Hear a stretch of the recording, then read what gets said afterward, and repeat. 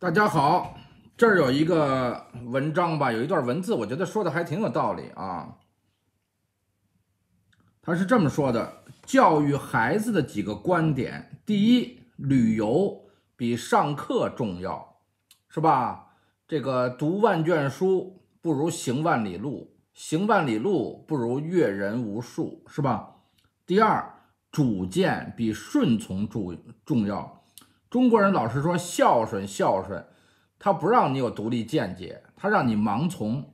要对方比你长辈儿啊，辈分比你高，年龄比你大，职务比你高，你就得听话，听话，听说听道的，就不让你有独立见解，不让你反驳，对吧？那这个有很多，他也会犯错误啊。谁说他岁数大，他辈分高，对不对？他职务比你高，他就不犯错呢？对吧？中国人他不鼓励独立思考、独立人格，他就让你盲从。第三，兴趣比成绩重要，没错，你就得让他有兴趣。你看我儿子那会儿上高二是吧？在国内他上了呃一个学期，然后就来这边，对吧？上高二开始分科啊。我们一开始也说你学个理科吧，将来好就业是吧？可是他说我就喜欢文，我们也没跟他。太那个什么哈，那你就学吧，学吧，是吧？反正你考虑好了，是不是？哎，然后良知比对错重要，对吧？先得有良知啊。其实也不叫对错，应该叫站队。在中国都是傍着大粗腿，是吧？谁有权利就跟谁走。你看这六四就是很多那个单位的领导一开始都是支持学生的，结果这一开枪，第二天很多人立马就变了。也有的人不变，不变你就靠边站，你就别当领导了，对吧？我父亲原来有一个我父亲的徒弟吧，啊，还曾经是全国的十佳共产党员，啊，人民大会堂啊，江泽民接见握手，哎，很牛的一个人。一开完枪马上就变了，哎呀，这个政府怎么怎么着啊？对，开枪就对，就得镇压，都是暴徒。他头一天说的话还不是这么说的呢，是吧？当然，那个人个人对我们家是不错，照顾我买卖，也照顾过我哥哥啊，我姐姐有什么事儿都找过他啊，是吧？咱们这是这是两个范畴，对不对？两回事儿。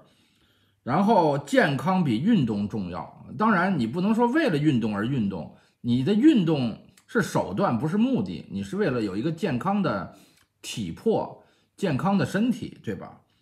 然后信仰比崇拜重要，当然了，对不对？你你不能个人崇拜是吧？哎呦，这伟大领袖啊，实际他也是肉眼凡胎，他很多时候他还没你有文化、有水平、有独立见解呢，对不对？甚至他可能作恶。成长比输赢重要，这是肯定的，是吧？不要攀比什么谁第一谁第二吧，对吧？在中国是吧？你那个那个奥林匹克啊，奥运会没得冠军，得了个亚军还哭呢，人家老外可不这样，对吧？第八，察己比绿人重要，你不要对别人那么严，对自己那么宽，是吧？第九，思考比表达重要。第十，快乐比面子重要。这中国人太看重面子了，真的，这点我是绝对不苟同的啊。呃，第十一啊，这个。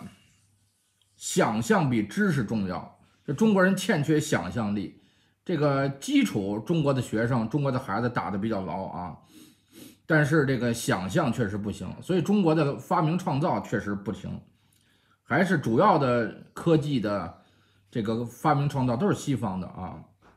那么独立比美丽重要，对吧？你活得独立，你有独立的能力、独立的意识、独立的精神，是吧？活得像个人似的。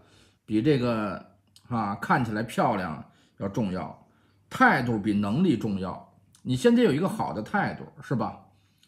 那么说到这个，刚才第一个旅游比上课重要，哎，我就总结了一下啊，总结了一下我们家的孩子啊，从他生下来就去了多少个国家啊？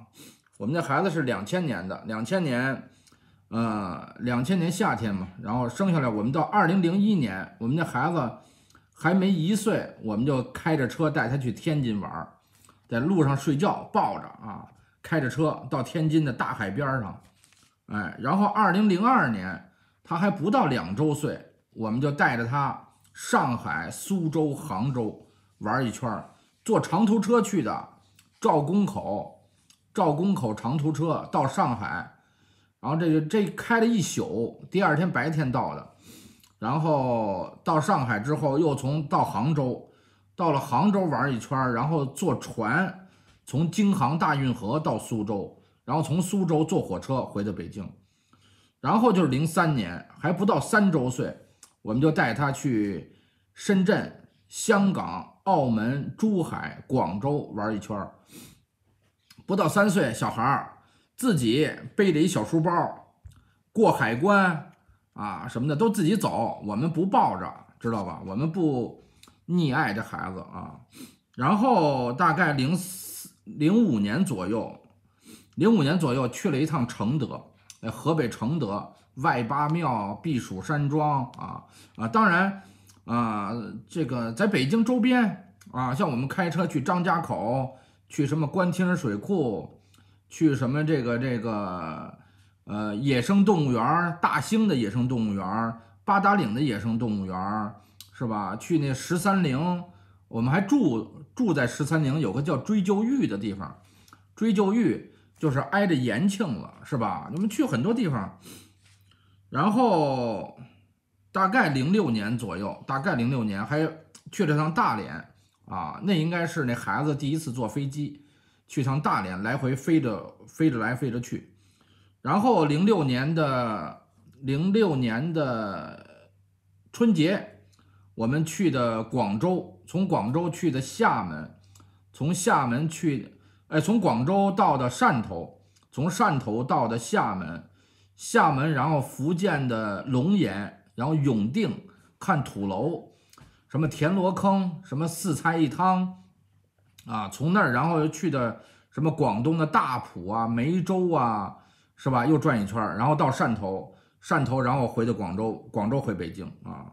然后零七年，我们去的是内蒙古，内蒙古的乌兰察布，乌兰察布有个科右前旗吧，察右前旗，察哈尔右翼前旗吧。然后那儿有一个叫辉腾梁啊，蒙古语辉腾梁，辉腾希勒，辉吞寒冷的山梁，到那儿玩一圈啊。然后零九年左右啊，零八年去哪儿有点记不清了。零九年江西庐山景德镇。啊，然后一一年，一一年我们坐火车到的吉林延边，延边图门，然后从那儿去黑龙江的牡丹江，然后佳木斯，然后那个抚远黑瞎子岛，然后同江接金口，啊，赫哲族这个民族乡，然后从那儿哈尔滨回的北京，然后。一二年，一二年我们去的南戴河玩了一圈海边，这比较近啊。还有好多近的，现在记不住了。嗯，我那个博客被封了，原来是都有照片、有文字都有啊。然后一三年内蒙古大清沟，我们是自驾去的啊。大清沟，然后锦州山海关转一圈儿。嗯，然后一四年，一四年我们去了趟欧洲，一四年。欧洲啊，芬兰啊，然后这个法国、意大利、瑞士、奥地利、德国，啊，这这转一大圈儿啊。然后一五年，一五年是他们学校组织的，学校组织的，去了趟云南，啊，来回飞着去的云南。一六年又是他们学校组织的，然后上海、南京、苏州啊转一圈儿。然后一七年。一七年、一八年都在欧洲啊，一七年、一八年，然后这个、这个、这个德国呀、奥地利呀、捷克啊，啊，这都是他自个儿去的。法国他自己去的，他大了啊。好吧，朋友们就说到这儿。